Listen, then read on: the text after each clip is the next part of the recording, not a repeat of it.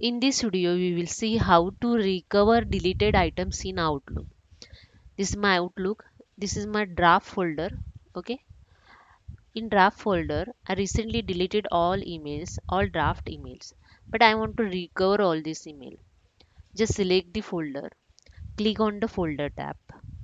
You get here one option, recover deleted items in cleaner section.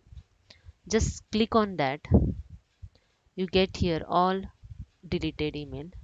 Just click click on the select all and click on ok. That's it. You can see here all email is recovered in your draft folder. As same you can use for other folder also and recover your emails deleted emails in your folder. That's it. Hope you understand if you like this video please subscribe my channel. Thank you